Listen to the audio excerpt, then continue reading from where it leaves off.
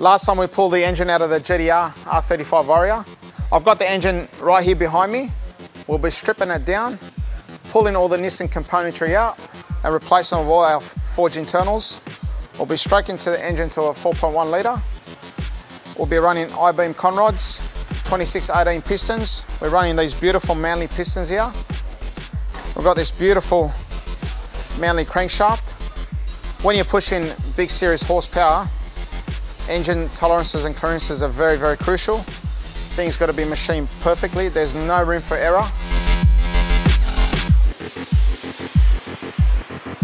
Here also BTA Motorsports, every, every engine that gets pulled down, stripped down, actually gets measured in factory form. We found that with these motors, from engine to engine, there's always slight variation. So every engine, it's not just a strip down and rebuild.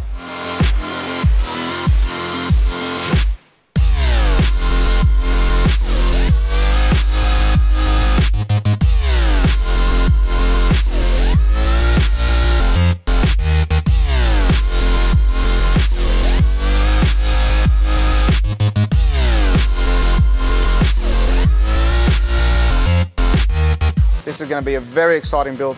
Can't wait. If you thought Monster F6 was fast, you haven't seen nothing yet.